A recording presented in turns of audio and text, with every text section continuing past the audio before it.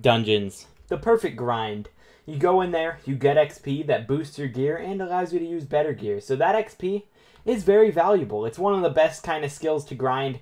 And who would have thought that the best way to grind dungeon XP is actually ritual suicide?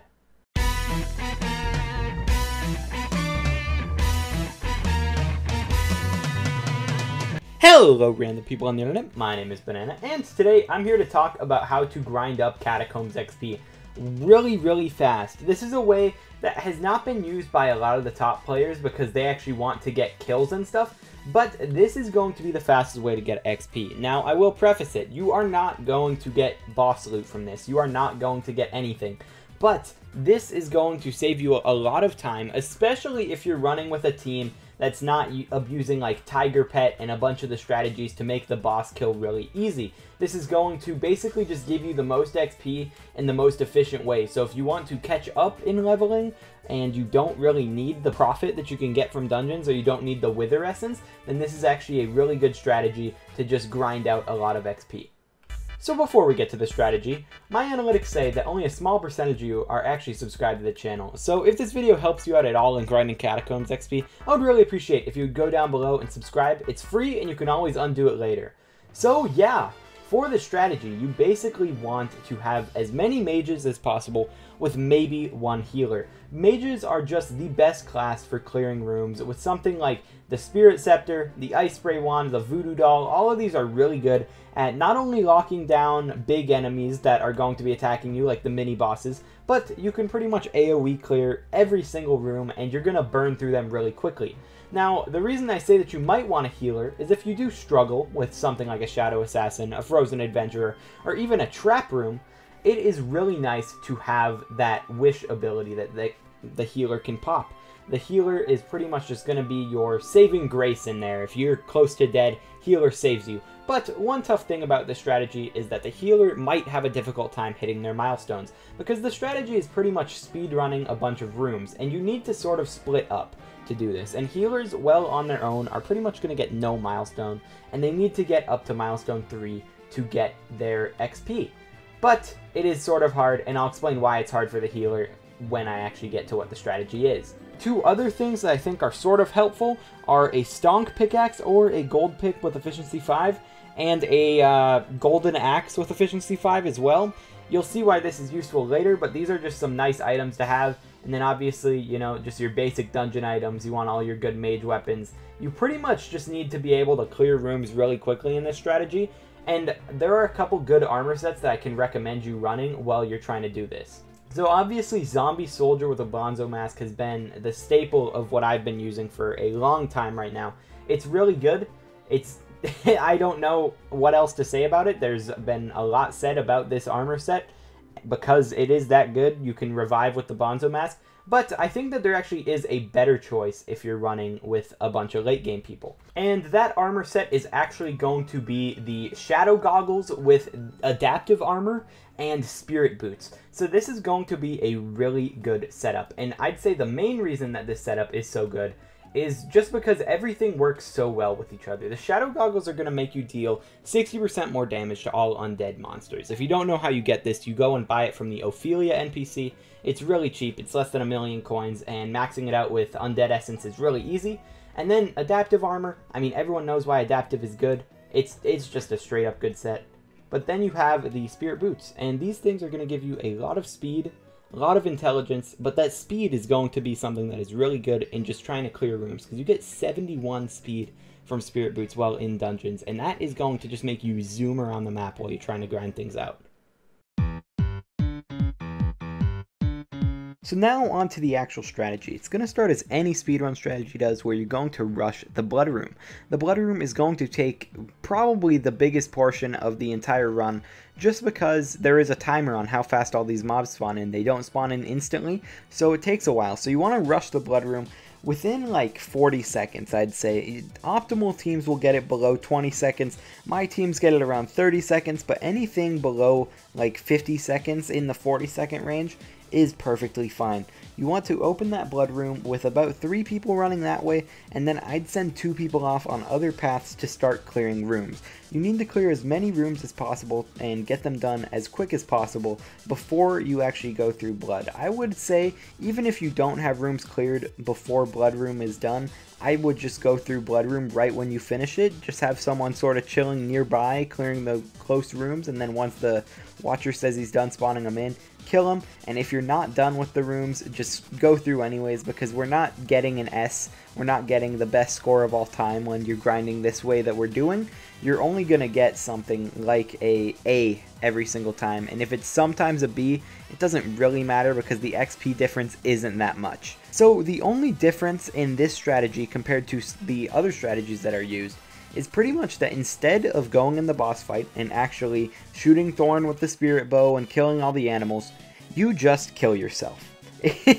That's the, the most blunt way to put it. You go in as a team and you all take off your armor, stand in your own corner where the wolves spawn, and then eventually a wolf will spawn in and one-shot you, and then your run is over.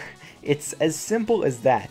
And the reason that you do this is on any normal run, you can pull somewhere around 1200 experience. That's on like a S plus right there. You're getting 1200 class XP and catacombs XP.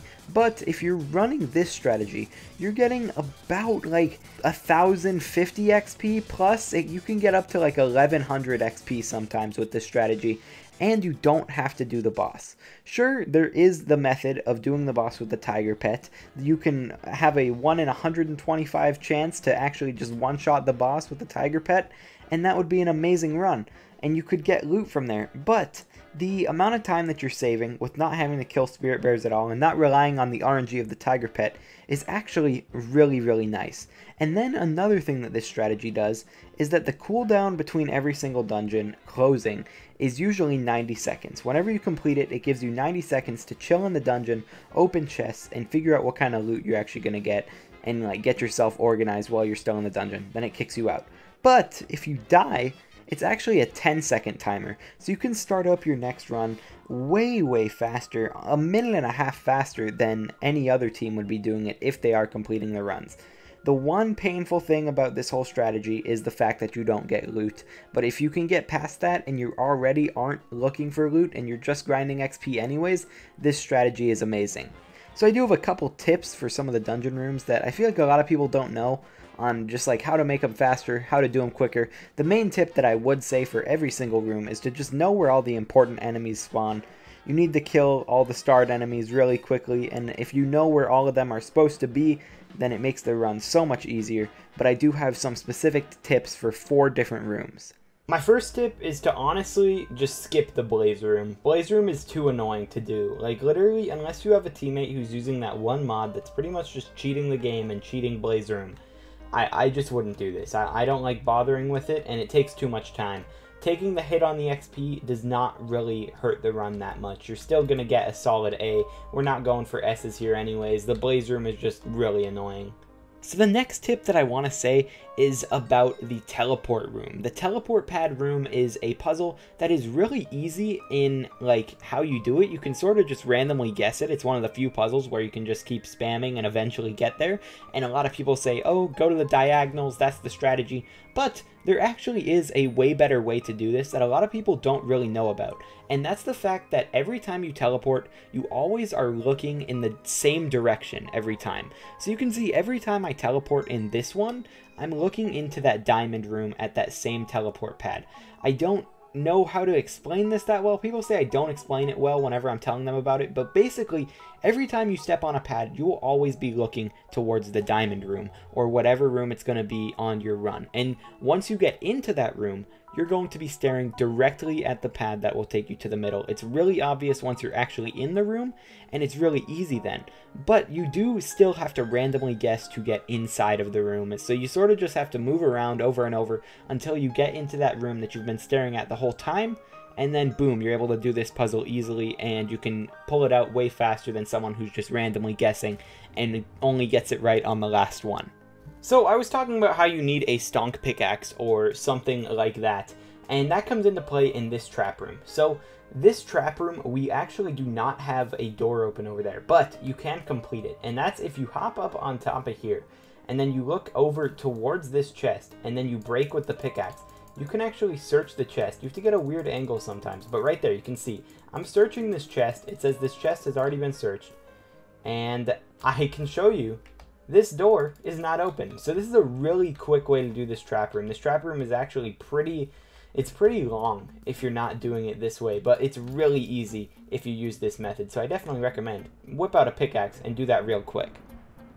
Alright, so when I was talking about the Treecapitator or an axe, you can pretty much do the same thing that you can with the trap room in this button puzzle. So this puzzle is not that hard. You can figure it out pretty easy if you know what you're doing. But if you walk over here with your axe and then you just sort of go here you can see I opened that chest without actually doing the puzzle at all.